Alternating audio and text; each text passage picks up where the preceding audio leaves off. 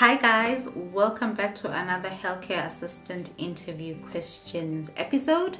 Um, this is the third um, episode we've done in this series. So far, we've covered the infection control interview questions and the care of the older person interview questions, as well as other varied um, interview questions.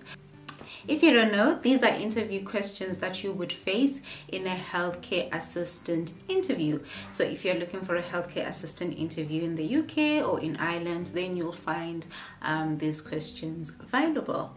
Um, without further ado, let's get right into this video with question number one. How do you ensure you comply with health and safety regulations as a healthcare assistant um, in the workplace? Now, what the interviewer is trying to understand here is that do you know that if you're working in, an, in, a, in a nursing home or in a hospital, that there are certain health and safety regulations that you need to adhere to? They need to understand that you do know how you go about finding out these regulations. Yes, of course, there is standard regulations that you learn when you're studying the healthcare assistant course, but each workplace has certain measures that they have in place, certain health and safety regulations that they have in they have in place. Um, this would be covering things such as understanding where um, understanding fire safety rules, understanding where fire exits are, um, understanding where the point where you all meet if the fire alarm goes off. Um, so they may ask you more questions in detail related to fire safety, but we'll cover that in a separate um, video where we'll cover the fire safety um, interview questions as well. Um, but they'll be looking at mostly that that you know the policies in place um, in the workplace that you need to follow. Now i'm going to give you a more technical answer to this a more textbook answer to this.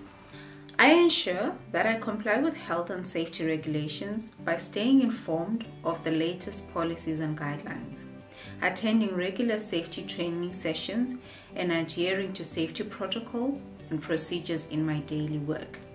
I also make sure to use protective equipment such as gloves and masks when appropriate and report any safety concerns or incidents to my supervisor. If you want to go more in detail about this, you would be covering things like saying if you saw that a hoist is damaged, you would then put it away and immediately tell your colleagues not to use it and immediately not notify management as well, um, maintenance as well, that this hoist is out of order. Um, if you see a fire safety door that is not working, if you see um, a fire exit is blocked, um, adhering to safety would be to remove that um, that block that is in place to make sure that fire all fire exits are not blocked in any way, shape, or form. So you can definitely go into detail and you know talk about this more um, you don't have to do the textbook um, um, answer as well but you can definitely um, change this answer with your own words what would you do if you noticed a safety hazard in the workplace? When answering this question, it is important that you make sure that there is no immediate danger. Sometimes the interviewer will lean into this question a little bit more and say, What if a patient is in immediate danger? The correct answer to this question is that you immediately report it to management. But what if there is a patient in immediate danger? Now, what you need to do is, first of all, make sure that you remove that patient from danger immediately if you can. Now, for example, if let's say you went to a door and you were about to open the door and then you noticed smoke. You started to smell smoke and then you felt with the palm of your hand and you felt that the door is hot. For example in this situation if you're already the door is feeling hot that means that the fire is beyond your expertise. You would not be able to contain it. So the first thing that you would do is ring the alarm and then go meet at the fire point. But what the interviewer is looking for here is that do you know the certain procedures if there was a safety incident or if there was a safety issue in the workplace. Notifying management is the first thing, and they, are also trying to take a look at your assessing skills that can you access that danger, that there is no immediate danger at the moment, there is nothing that you can do to rectify the situation at the moment. So sometimes it can be issues like I said before a fire exit door is blocked, you can easily fix that by removing the blockage. For example, maybe there is a chair, there is a wheelchair blocking the exit. The best way to fix that is remove the, the, the problem. And maybe you can say at the next handover meeting that guys look i've noticed that a lot of times our fire exit doors are being blocked and you can mention this to your colleagues during handover so that people can be on the lookout for you. Now let's get into the textbook response for this. If i noticed a safety hazard in the workplace i would immediately report it to my supervisor or the appropriate safety officer. If necessary I would take action to fix the hazard, such as cleaning up a spill or removing a tripping hazard while following established safety procedures. Have you ever encountered a safety issue with a patient or visitor? So now the interviewer is asking you to look back in your previous work experience and if you've ever encountered a safety issue with a patient or visitor and how you handled it. I know for some people they may say, I've never encountered that. But if you look back in the workplace, at some point of time, there has been some sort of safety issue that you've encountered. If you cannot think of something immediately, you can give an example um, of, of, of situations that may arise and how you would deal with them. What the interviewer is really looking for here is to access how you would respond if you were in this situation. They want to access that would you remain calm? Would you follow all the safety procedures? Do you know what to do if you are faced with the situation? You would answer this, for example, by saying, Yes, I have encountered safety issues with patients or visitors on occasion. For example, I've had to intervene when a visitor was behaving aggressively or when a patient was trying to leave their room without assistance. In these situations, I remain calm, assess the situation, and use my training and experience to resolve the issue safely and quickly. I also make sure to document the incident and report it to my supervisor as protocol. Now, it is important to note that with all safety issues, it is important that you document any um, any issues. You follow the protocol that is in place in the nursing home or in the hospital. It is important that you notify your supervisor or your team leader, and you make sure that this is documented as well. This is something that is important so that we learn from our mistakes to avoid making the same mistakes again. How do you ensure you maintain a clean and hygienic environment in the workplace? This is an interview favorite. What they're trying to see here is that you understand that you need to keep the environment that you work in clean. They're also trying to understand as well that you understand what you can clean. For example, you cannot empty um, objects with sharps yourself there's a dedicated team usually it's people outside of the nursing home that are trained in doing this in removing these safely.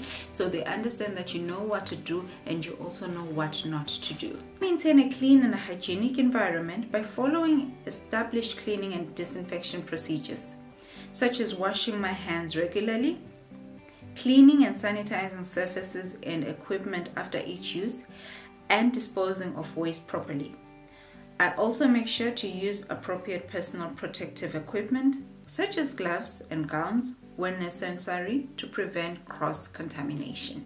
Can you provide an example of how you ensure that patients are safe when you're assisting them with mobility or transfers?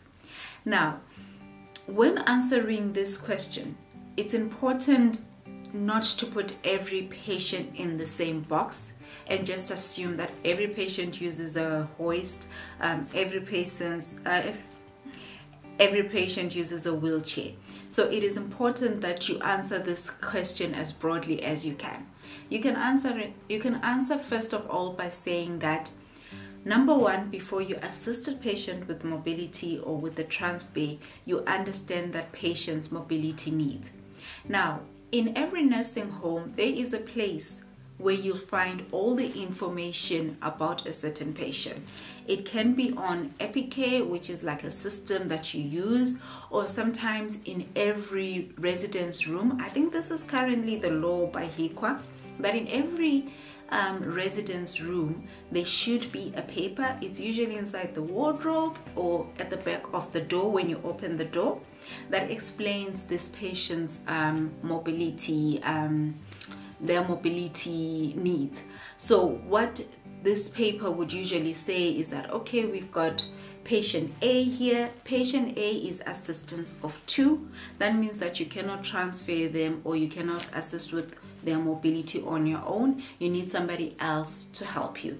Some may say that this patient is an assistance of one meaning that one single person can um, assist you and it will also say that can this person um, walk on their own or do they need a wheelchair or devices to assist them with walking?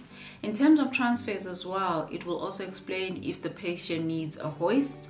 Whenever somebody needs a hoist that means that they need two people to assist them. So Sometimes it may not clarify, it may just say hoist, but whenever you see hoist, just remember that you need another person to assist you because with the hoist, as much as it is helpful, as much as it makes our lives easier, it can be a very dangerous equipment if not used appropriately. That is why it is important that two people assist um, when you're transferring somebody with a hoist. To be honest, for the entire time I worked as a healthcare assistant, I hated the hoist. I always got so nervous.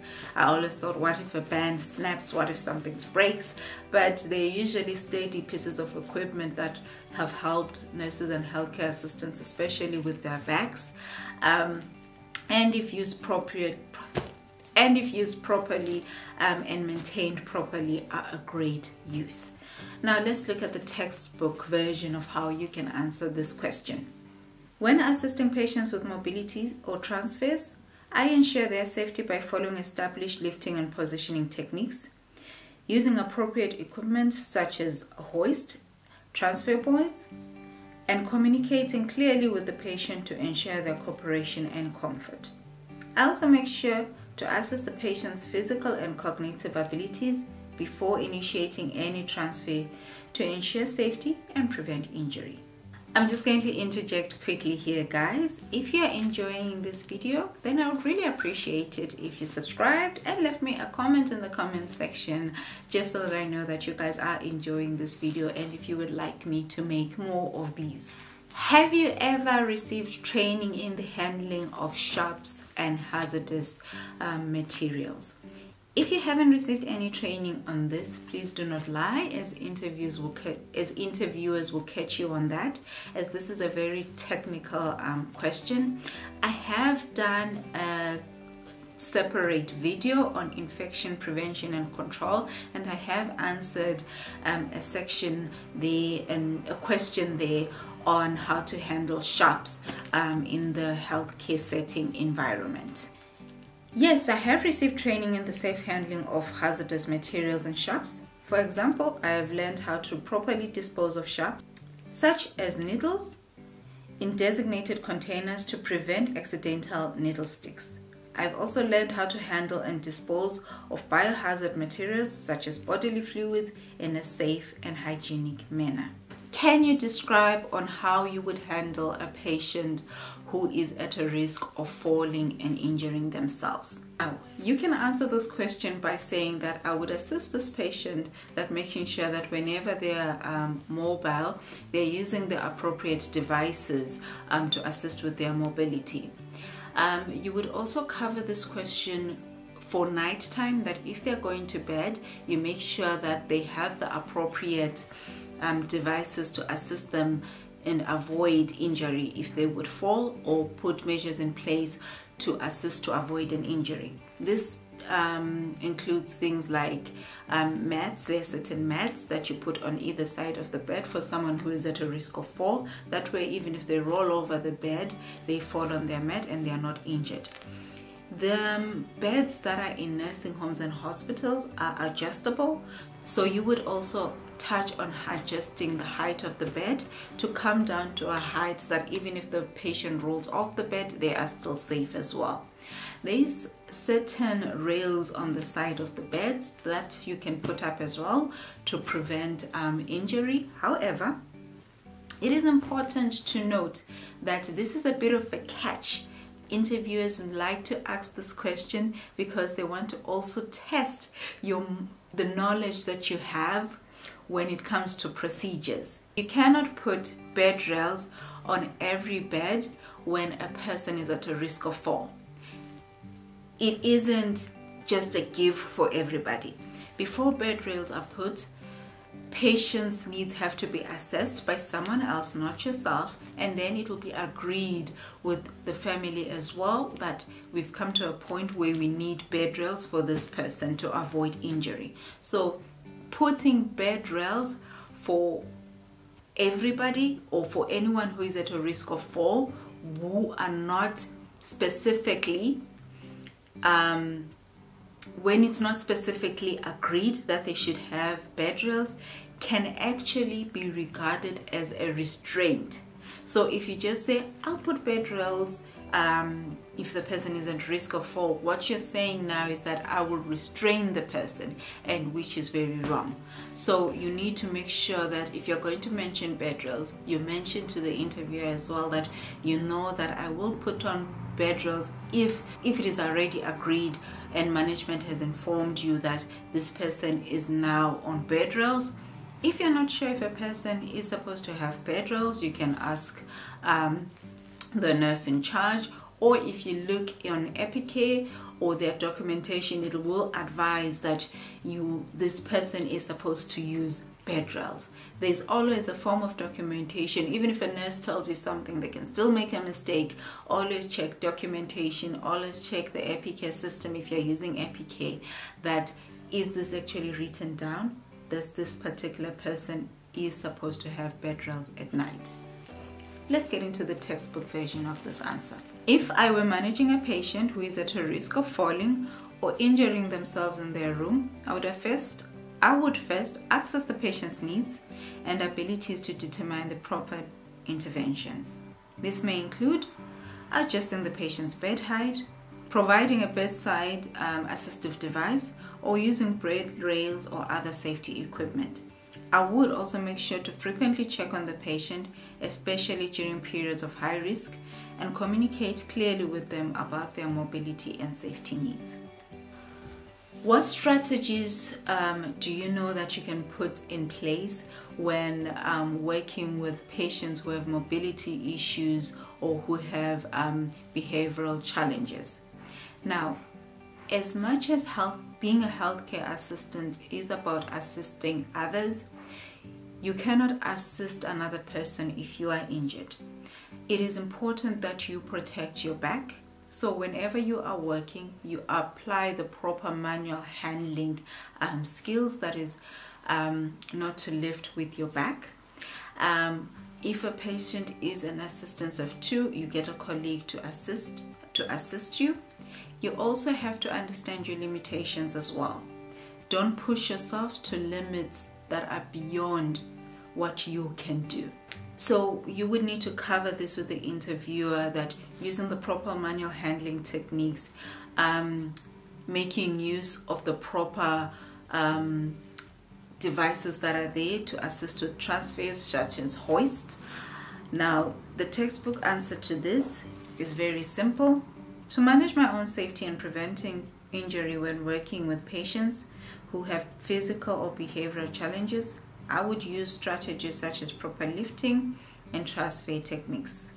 Well guys, my name is Sithini and this is the end of this video. If you enjoyed it, why not let me know in the comment section and I will continue doing these. We still have I think about four more that I want to do in this series um, before we wrap up these healthcare assistant interview questions. Um, I've done other ones as well. You can check those out if you're interested and I will see you in the next one. Bye bye.